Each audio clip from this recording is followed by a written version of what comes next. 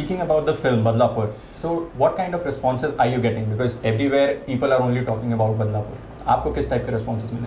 बहुत अच्छे रिस्पॉन्स मिल रहे हैं यार चारों तरफ़ से क्योंकि मुझे इतना एक्सपेक्ट नहीं था क्योंकि थोड़ी हार्ड फ़िल्म थी डार्क फ़िल्म थी और मैच था तो हम लोग सोच रहे थे पता नहीं आई डोंट नो क्या रिस्पॉन्स रहेगा। बट जिस तरीके से लाइक वीकेंड जो गया है वो बहुत ही बहुत ही सब लोग बहुत एक्साइटेड हैं। कैरेक्टर को बहुत पसंद किया जा रहा है। मैंने लाइक जैसे सुना कि बहुत क्लैपिंग वैपिंग ये मैं, मैं मैंने कभी एक्सपेक्ट ही नहीं किया था तो ऑनेस्टली अपना काम करके आ गए और बहुत अच्छा रिस्पॉन्स आ रहा है।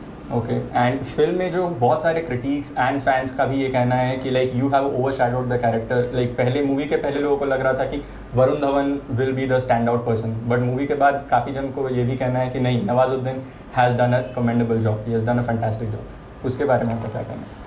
सी वो मुझे मुझे ऐसा लगता है दो कैरेक्टर जैसे श्री राम राघवन ने बताया दो कैरेक्टर की स्टोरी है और एक अच्छा है एक बुरा है और बाद में बदल जाते हैं दोनों।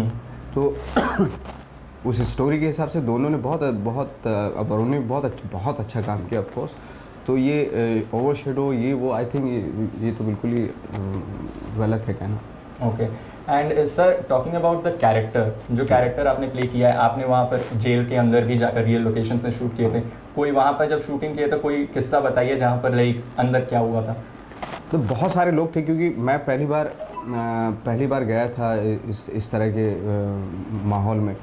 तो वहाँ पे जो कैदी थे वो बहुत ही मतलब ऑर्गेनाइज तरीके से काम करते हैं और उनके लाइक जैसे हो, हो सकता है उन्होंने कोई गलत गलत किया हो जिसकी वजह से वो ऑफकोर्स जेल में है। लेकिन उनके अंदर जो बदलाव आता है ना वो दस बारह साल के अंदर पाँच साल के अंदर जो बदलाव आता है हम्म।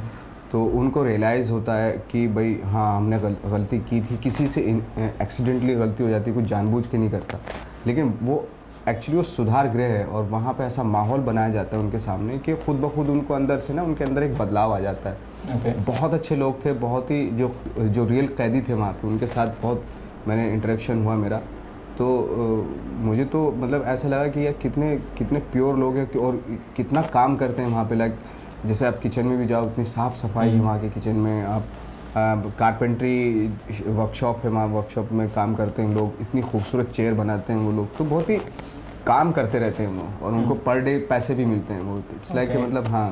तो एक किसी एक मेकिंग वीडियो में आपने कहा भी था कि मुझे अगर यहाँ पर जेल के अंदर यहाँ पर रहने दिया जाए तो मैं काफ़ी दिन आराम से बिना तकलीफ़ के रह हाँ मैं मतलब वहाँ एक डेढ़ महीना रह सकता हूँ क्योंकि इतना अच्छा माहौल है ना वहाँ पे सब सब लोगों का। तो एक महीना आराम से रहा जा सकता है वहाँ। Okay okay. और कोई फैंस मिले अंदर जो लाइक चीयर कर रहे थे आपके शूटिंग के हाँ बहुत सारे लोगों बहुत सारे लोगों ने देखी थी कुछ फ़िल्में देखी थी। टीवी टीवी है वहाँ पे। तो टीवी हम्म। में देखते रहते जो टीवी आती है।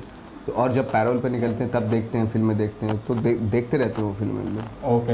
एंड सर मूवी के बारे में about the script of the film काफ़ी लोगों को एक क्वेश्चन बहुतों से मैंने पता किया है तो many people had this question कि सीन एक आता है मूवी में जहाँ पर वरुण के पास आप जाकर कन्फेस करते हो कि हाँ मैंने तुम्हारी वाइफ एंड किड्स को मारा तो बट वरुण आपसे कुछ नहीं कहता है और वो एक आपको जाने देता है और चला जाता है। तो वो लोगों का दिमाग में ये क्वेश्चन आता है कि लाइक यहाँ पर वरुण ने उसे छोड़ क्यों दिया? हाँ वरुण का जो है ना उस वक्त पे जो एक, एक मेंटल ट्रोमा से गुजर रहा है। तो वो ये है कि उसको ये भी मालूम है कि एक साल के बाद तो ये खुद ही मर जाएगा। हम्म। और एक सेडिस्टिक प्लेजर भी ले रहा है वो। ओके क्योंकि जो वरुण का जो माइंड है उस वक्त पे ऐसा है।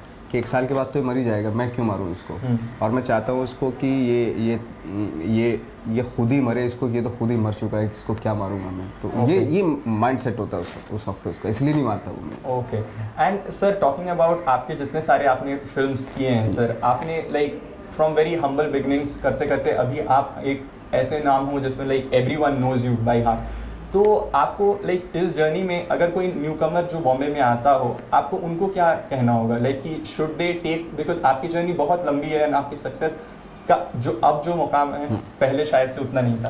तो जो न्यू कमर आते हैं उनके लिए आपका क्या मैसेज होगा?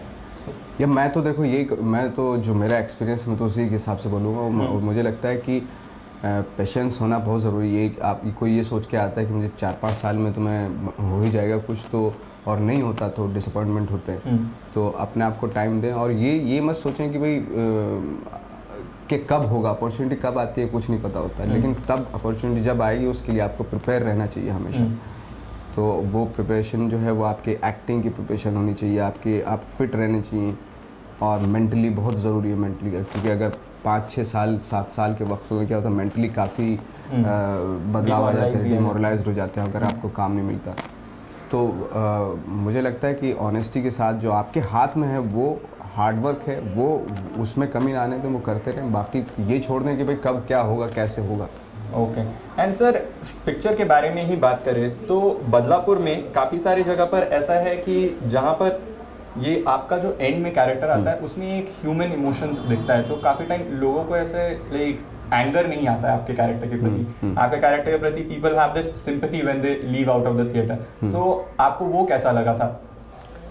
ये एक्चुअली ये बहुत ही अजीब सा वो है एक्चुअली क्योंकि अभी एक महीना पहले हाँ एक एक महीना हाँ एक महीना हाँ। एक एक घंटा पहले वो मर्डर करता है हाँ। पिक्चर पिक्चर की पिक्चर में और एक घंटे के बाद जो है ना लोग उसके साथ हो जाते हैं तो उसके इमोशन के साथ हाँ। हो। ए गुड थिंग कि एटलीस्ट लोग जैसे वरुण का भी कैरेक्टर है वो एक अच्छा आदमी होता है और बाद में बुरा हो जाता है। तो ये ट्रांसफॉर्मेशन जो है वो लोगों को एक्चुअली समझ में आता है। वो सेवनटीन ईयर्स का जो टाइम पीरियड होता है उसमें लोग कैरेक्टर की आदतों से वाकिफ हो जाते हैं।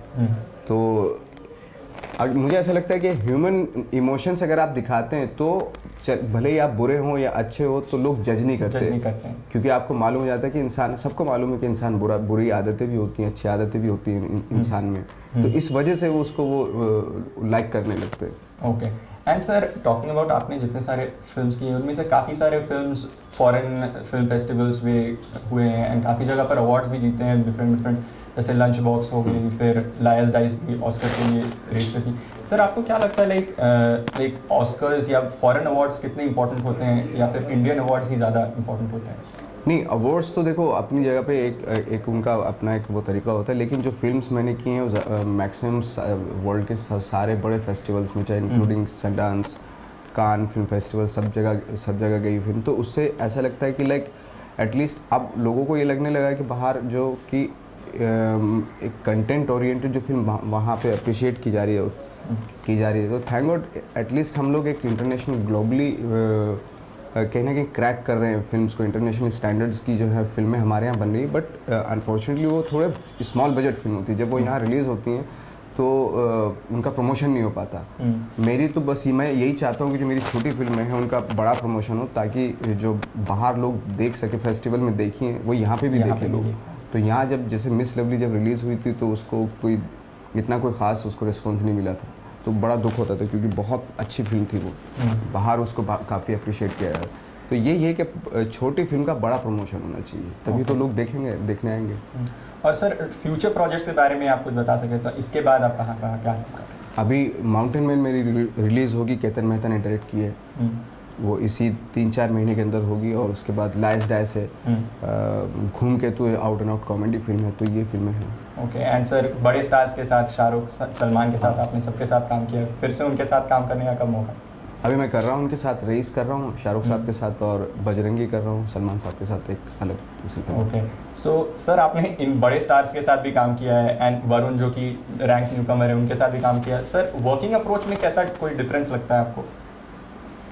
वर्किंग डिस नहीं ऐसा कोई खास वो नहीं लगता क्योंकि अ, हर आदमी पैशन है हर एक्टर चाहता है कि अपना अपना बेस्ट दे हर फ़िल्म में।